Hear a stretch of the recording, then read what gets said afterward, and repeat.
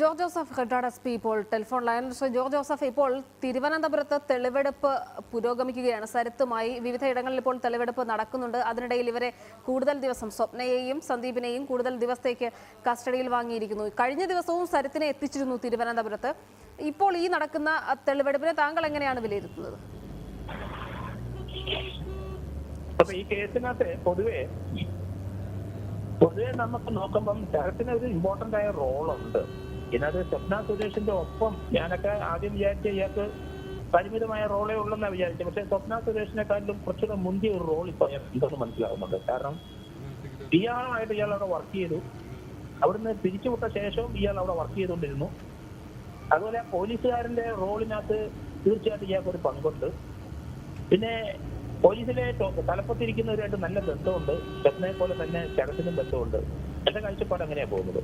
ഏതായാലും പൈസൻ പരീത് വന്നു കഴിയുമ്പോൾ അറിയാം അവരുടെ ആ ബന്ധം ഊഷ്മളമായ ബന്ധത്തിന്റെ അർത്ഥം എന്താണെന്ന് അന്നേരം നിങ്ങൾക്ക് മനസ്സിലാവുള്ളൂ.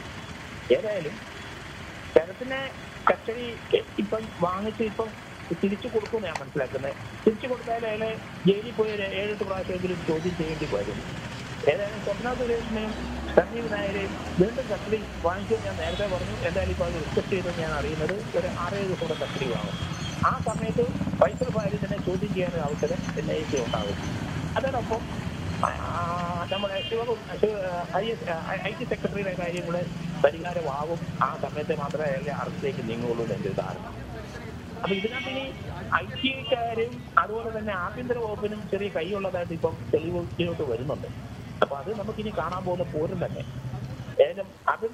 അല്ല ശ്രീ ശ്രീ ജോ ജോസഫ് ഇപ്പോൾ സ്വപ്നയെയും സന്ദീപിനെയും അടുത്ത ദിവസം ഏറ്റവും കുറഞ്ഞ ചിലപ്പോൾ നാളെ തന്നെ ഗണ കാരണം ഇനി മൂന്ന് ദിവസം കൂടിയാണ് എന്നെ കസ്റ്റഡിയിലേക്ക് ലഭിച്ചിരിക്കുന്നത്. നാളെ തന്നെ വീണ്ടും എത്തിക്കാൻ സാധ്യതയുണ്ട് തലസ്ഥാനത്ത് തെളിവെടുപ്പിനായി എന്നാണ് മനസ്സിലാക്കാൻ കഴിയുന്നത്.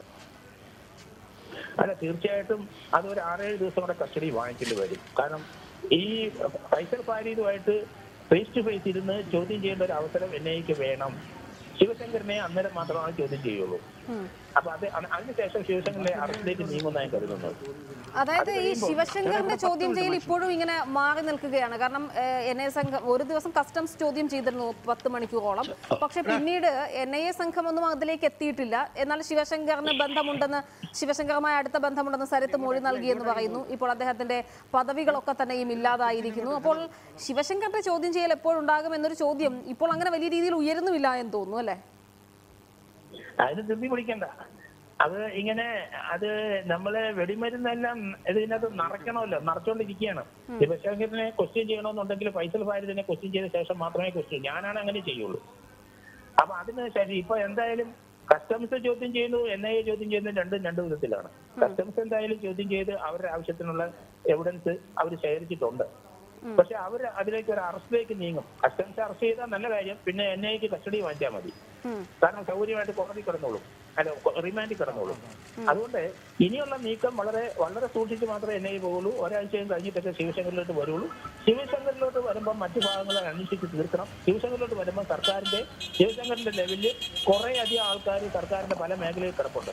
അവരിലേക്ക് അന്വേഷണം പോകും പക്ഷേ അതായത് ശിവശങ്കറിന്റെ ചോദ്യം ചെയ്യൽ ഇനിയും വൈകുമെന്നാണ് താങ്കൾ കരുതുന്നത്. പ്രത്യേകിച്ച് അതിൽ മറ്റൊരു പ്രശ്നമുള്ളത് ഇരുപത്തിനാലാം തീയതി വൈകുന്നേരം മൂന്ന് മണിവരെ മാത്രമാണ് ഇപ്പോൾ ഈ സന്ദീപിനെയും സ്വപ്നയെയും കസ്റ്റഡിയിൽ കിട്ടിയിരിക്കുന്നത്. പതിനാല് ദിവസമാണല്ലോ കസ്റ്റഡി കാലാവധി കിട്ടുക.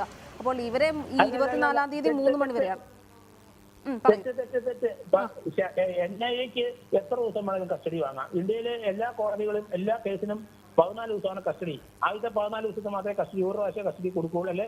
രണ്ട് പ്രാവശ്യം. പതിനാല് ദിവസത്തിനകം കസ്റ്റഡി ചോദിക്കും. പക്ഷേ എന്നയുടെ നിയമം മൂന്ന് മാസം കഴിഞ്ഞാലും വീണ്ടും കസ്റ്റഡി കൊടുക്കും. അതുകൊണ്ട് ആ കാര്യത്തിൽ പേടിക്കണ്ട. എന്നെ ഐക്ക് ആ, അപ്പോൾ അതായത് ഇപ്പോൾ ഈ മൂന്ന് ദിവസം ഇരുപത്തിനാലാം തീയതി കഴിഞ്ഞാലും ഇപ്പോൾ സ്വാഭാവികമായും ഇപ്പോൾ സരിത്തുമായി ബന്ധമുണ്ട്. ശിവശങ്കറിന് ബന്ധമുണ്ട്.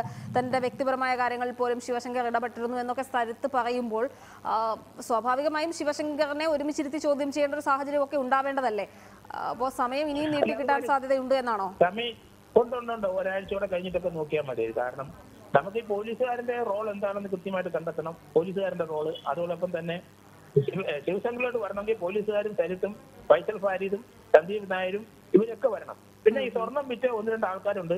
ആ വിറ്റ് അവർ ചെന്ന് കൊടുത്ത ചില ആൾക്കാർ. ഇതെല്ലാം സൂറത്തിലോട്ടാണ് പോകുന്നത് ഗുജറാത്തിലെ സൂറത്തിൽ തന്നെ പോകും. അപ്പം അതുവരട്ടെ നമുക്ക് അത് പിന്നീട് മനസ്സിലാവുള്ളൂ. ഭൂരിപക്ഷം സ്വർണവും സൂറത്തിലോട്ട് തന്നെ പോകും നോർത്ത് ഇന്ത്യയിലോട്ട് പോകും അപ്പൊ ഇവിടെ ഈ ഇതുവരെ അറസ്റ്റ് ചെയ്തവര് അവർ കൊടുത്ത പണം എവിടെയെങ്കിലും ഐ എസിന്റെ അതുപോലെയുള്ള സ്ഥലത്ത് ചെന്ന് ചേർന്നു എന്നാണ് അത് കഴിഞ്ഞ് അതിലോട്ട് വന്നു കഴിയുമ്പോൾ മാത്രമാണ് ഈ ശിവശങ്കരനെ അറസ്റ്റിലേക്ക് നീങ്ങുന്നത്. ഏകദേശം അതിലേക്ക് വരുമെന്നാണ് ഞാൻ പ്രതീക്ഷിക്കുന്നത് ശരി ആയിക്കോട്ടെ. ശരി വളരെ നന്ദി പ്രതികരിച്ചത്